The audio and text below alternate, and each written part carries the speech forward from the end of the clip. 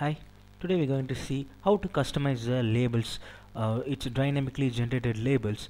Uh, so here, uh, before I going to show you, so here I have my uh, login uh, view. So uh, login view is completely strongly typed.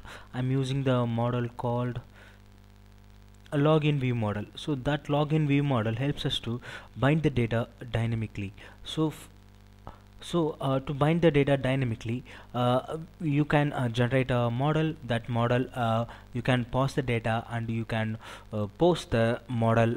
So that is what the MVC normally works. So if you are uh, trying with the MVC application yes what I am trying to tell you you will understand.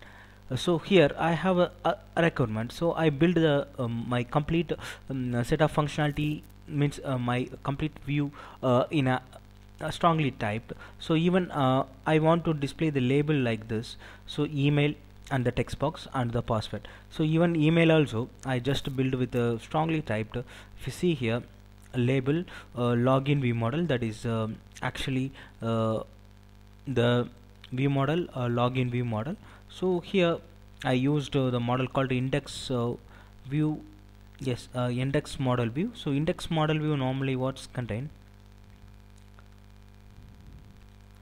uh, contain uh, two set of property. One is uh, uh, the type of uh, login view model and one is register because what why I tried to, to use is to build a login registration is same. That's what my requirement but actually my login view is built up with this. So I'm using the instance login model and the email. So here I uh, mentioned that label name and the text box and the validation for the particular things. So this uh, everything will uh, commonly handled if you try to do with strongly typed. So if you um, pass uh, some values or uh, you want to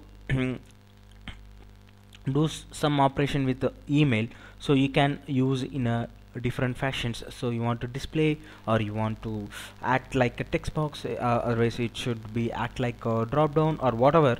So you can use the single property and uh, you can utilize that. So that is what what the MVC is uh, providing us. So if you added as a text box yes in the post method this will mm, consider as a one value and it will post inside. Label for a label if you use yes label commonly to help us to display so no need to post the data. So mm, main priority here is the text box for and validation if any kind of validation that associate with uh, text box that email it will throws. So so this is completely MVC structure. If you not uh, clear about MVC please go through the MVC complete tutorial. Not only my session uh, even Microsoft provide a complete good session so you can go through all the basics. Here, here I want to mm, show you something interesting that say I want to mm, rename um, this particular names. See this is remember me why it is coming? So this is my model. This is the name. So that name actually I, I uh, added uh, my uh, property so remember me.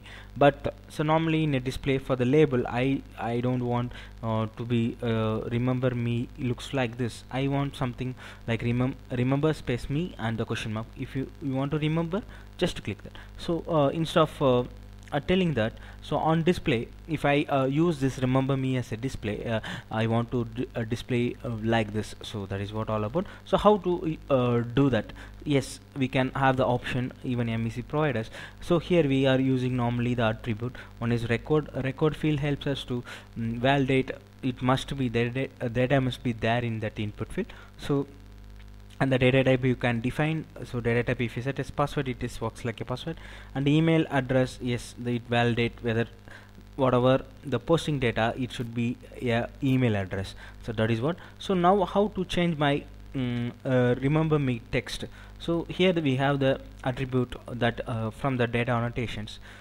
So that helps us to so determine uh, how you can utilize that. So here you have the attribute called display okay so display the bracket you can mention the display name name equal to remember me and the question mark and save it and build a now